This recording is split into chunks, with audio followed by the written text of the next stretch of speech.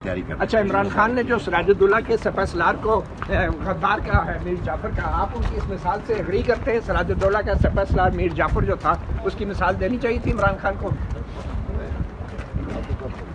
शेख साहब क्या लगता है? क्या सराजुद्दौला का जो सपसलार था उसको गद्दार कहा है इमरान खान ने।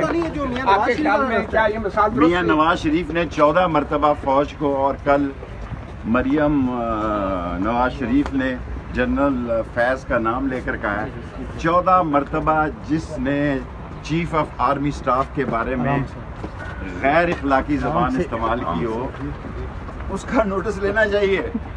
उसका नोटिस लेना चाहिए।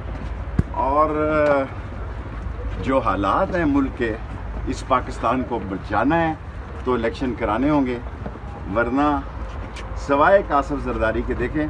जे यू फे ने इंतबी जलसे करने शुरू कर दिए हैं नून लीग ने इंतबी जलसे शुरू कर दिए हैं। तहरीक इंसाफ आगे ही जलसों में है।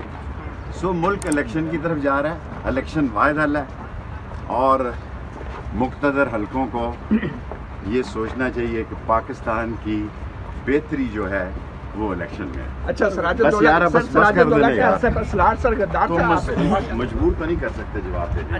अच्छा सर ये गेट नंबर चार आप पे बंद हो गया मेरे पाक फौज से तल्लकात थे हैं और रहेंगे और मुझे इस पर फख्र। तो कल फौज के तर्जमान ने कहा है कि आप लोग जलसों में फौज को सियासत में घसीटते हैं। उनको कहा जो घसीटते हैं मरियम को और घसीटते हैं मरियम को और नवाज़ शरीफ को। तो इमरान खान फौज को सियासत में नहीं घसीट रहे? नहीं घसीटते। आप फौज के तर्जमान के इस बयान के ऊपर तयद करते हैं इसकी कि आपके ऊपर कोई इल्ज़ाम नहीं है।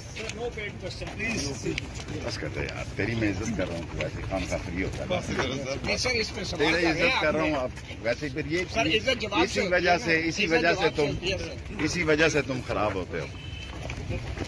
साहब ये बताएँ कि इमरान खान जो है फौज को सियासत नहीं की सीट रहे आपके ख्याल में? बिल्कुल नहीं घसीटते और किसी को सवाल ही कर रहे हैं। सर इज़्ज़त जवाब इसी वजह से इसी वजह से तुम है इसी वजह से तुम खराब होते हो मेरी आदत से बात नहीं। तेरा मैन्युफैक्चरिंग डिफेक्ट है।